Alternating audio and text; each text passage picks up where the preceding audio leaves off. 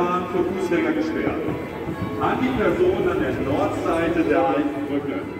Es ist momentan nicht möglich. Das heißt, es gibt auch keinen, keine Möglichkeit, diese zu überqueren. Daher der Appell an Sie, gehen Sie außenrum, wenn Sie nach Sachsenhausen wollen oder feiern Sie woanders Silvester.